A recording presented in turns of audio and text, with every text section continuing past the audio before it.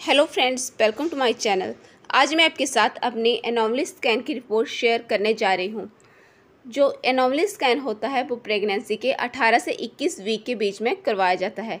लेकिन इसे अगर 19 से 20 वीक के बीच में करवाएँ तो और भी अच्छा होता है। इसमें बेबी की ग्रोथ का प्लेसेंटा की पोजिशन का और बेबी के ऑर्गन्स डेवलप हुए हैं या नहीं, इसके बारे में पता चलता है।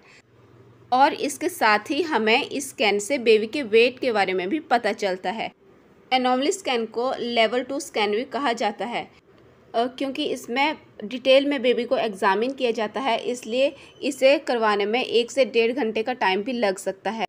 क्योंकि जब भी हम ये स्कैन करवाते हैं और डॉक्टर से ये रिपोर्ट चेक करवाते हैं तो डॉक्टर के पास इतना टाइम नहीं होता है कि वो हमें पूरी पढ़कर सुनाएँ।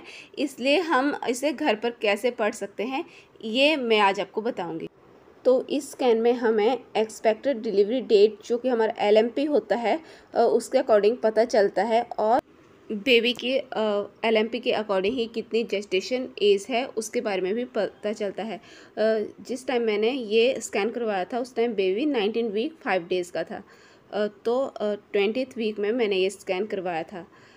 और आगे है फीटल पैरामीटर्स अब बेबी के बारे में ये बताया हुआ है। बीपीडी यानी कि वाई पैटल डायमीटर जो कि फिटल का साइज़ है वो 4.81 सेंटीमीटर है। इसके बाद एचसी दे रखा है, जिसका मतलब है हेड सर्कमफ्रेंस यानी कि बेबी के हेड के बारे में है। और नीचे है एसी यानी कि अबडोमिनल सर्कमफ्रेंस जो कि बेबी के पेट के बारे में है। तो इस तरह से सबको कंबाइन करके जो बेबी है, उसका वेट निकाला है ई एफ़ डब्ल्यू यानी कि एस्टिमेटेड फीटल वेट जो कि three twenty three plus minus forty eight grams है, यानी कि थ्री ट्वेंटी थ्री में फोर्टी एट ग्राम्स ज़्यादा भी हो सकता है या फिर फोर्टी एट ग्राम्स कम भी हो सकता है। ये जो वेट है फिटल का, ये थ्री हंड्रेड ग्राम्स के ऊपर ही होना चाहिए। अदरवाइज़ हमें अपने खाने पीने पर ध्यान देना चाहिए, जिससे कि बेबी का वेट जो है, वो सही हो जाए। बेबी के वेट के अलावा हमें इस स्कैन से fetal heart rate F H S के बारे में भी पता चलता है, जो कि मेरे बेबी की इस स्कैन में one forty six B P M आई है। जो फीटर हर्ट रेट होती है वो चेंज हो सकती है, वो आगे या पीछे भी उसकी वैल्यू आ सकती है। लेकिन कुछ लोग कहते हैं कि 150 से ऊपर जो होती है, वो गर्ल चाइल्ड होता है और जो 150 से नीचे हर्ट बीट आए तो बॉय चाइल्ड होता है। लेकिन इसमें कोई भी सच्चाई नहीं है। लेकिन मेरे बेबी बॉय के टाइम पे जो फीटल हर्ट रेट है, वो 145 से 150 के बीच में ही रहता था। इसके अलावा इस स्कैन में भी एस्टिमेटेड डिलीवरी डेट का पता चलता है, जो कि यूएसजी के अकॉर्डिंग होती है। साथ ही जो बेबी का हेड डेवलप हो रहा है, उसके बारे में भी स्कैन में बताया गया है, जो कि मेरी रिपोर्ट में नॉर्मल है। इस स्कैन में बेबी के फेस को अच्छे से एग्ज़ामिन किया जाता है।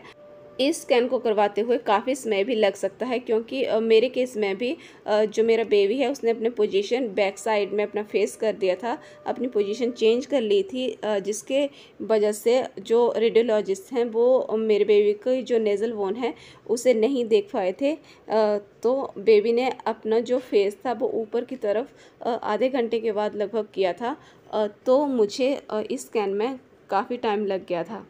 तो इस रिपोर्ट में फेस, नेक जो भी बॉडी पार्ट्स जो थे वो एग्ज़ामिन किए थे, वो रिपोर्ट्स जो थी वो नॉर्मल थी। जैसा कि मेरी इस रिपोर्ट में ये लिखा हुआ है। इसके अलावा थोरैक्स यानी कि जो बेबी की चेस्ट होती है, उसमें फोर चैम्बर्स आर विजुअलाइज्ड लिखा है, यानी कि जो भी हर्ट होता है, ये सब जो है वो नॉर्मल है। इसके अलावा जो हमारी आर्टरीज होती हैं लंग्स होते हैं, वो सब कुछ जो है इसमें नॉर्मल दिखाया गया है। और एब्डोमन में भी स्टोमक किडनीज लीवर और यूनरी ब्लैडर ये सब भी नॉर्मल है। और upper and lower limbs umbilical cord और स्पाइन जो है वो सब नॉर्मल है। और जो प्लेसेंटा था, वो पोस्टीरियर था। पोस्टीरियर यानी कि बेबी के आगे। इसकी पोजीशन एंटीरियर हो सकती है, यानी कि बेबी के पीछे फंडल हो सकते हैं, यानी कि बेबी के ऊपर और लो लाइंग हो सकता है, यानी कि बेबी के नीचे की साइड और जो फीटस है, यानी कि बेबी जो है वो उसकी प्रेजेंटेशन सेफालिक यानी कि हेड जो है वो नीचे की साइड है। बेबी जो है वो ब्रीच या ट्रांसफर्स भी हो सकता है यानी कि ब्रीच में जो बेबी का हेड होता है वो ऊपर की साइड होता है और ट्रांसवर्स में बेबी साइडवेज होता है। बेबी की प्रेजेंटेशन चेंज होती रहती है और साढ़े आठ महीने के बाद, यानी कि नौवें महीने में बेबी की जो पोजीशन होती है, वो स्थिर हो जाती है। और साथ ही मेरे बेबी की जो अम्बिलिकल कॉर्ड थी, वो अराउंड द नेक थी जो कि बेबी मूवमेंट के साथ इसकी पोजीशन चेंज हो जाती है। कुछ लोग ये भी कहते हैं, अगर प्लेसेंटा पोस्टीरियर हो तो बेबी बॉय होता है, लेकिन इसमें कोई भी सच्चाई नहीं होती है। और प्लेसेंटा की पोजीशन कोई भी हो सकती है। तो मेरी रिपोर्ट का यही ओपिनियन था कि बेबी जो था वो सेफालिक प्रेजेंटेशन में था और बेबी के नेक के अराउंड जो था वो प्लेसेंटा एक लूप में था। प्लेसेंटा यानी कि जिसे हम आम भाषा में आवल कहते हैं, वो बेबी के नेक के चारों तरफ़ एक लूप में था। और साथ ही लो लाइंग प्लेसेंटा था तो लो लाइंग प्लेसेंटा में किस तरह से अपनी केयर करनी चाहिए और ये क्या होता है, वो अपनी नेक्स्ट वीडियो में मैं आपके साथ डिस्कस करूँगी।